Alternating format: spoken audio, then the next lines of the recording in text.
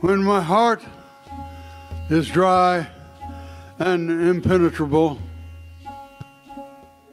rain down your grace. When I'm dull and without energy, send song through me. When the surrounding noise overwhelms, come with your silence and rest. When I'm crouched in a back room corner like a homeless beggar, break open the door and take me into the majesty of friendship.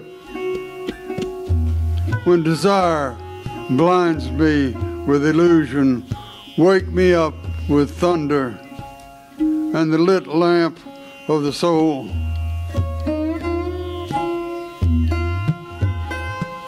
Give up this fumbling with beads, this chanting in the dark, shut temple.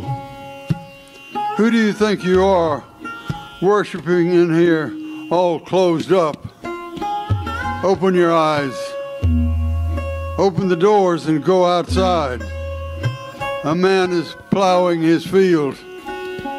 A mason is breaking and laying stone. This is a mason. For a path in rain and sunlight, covered with dust, the master of creation works inside our work. Leave your meditation practice. Put away the incense and the essence oil.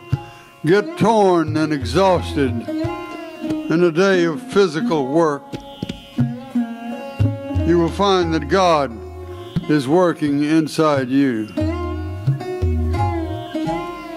Get torn and exhausted. In a day of physical work, you will find that God is working inside you.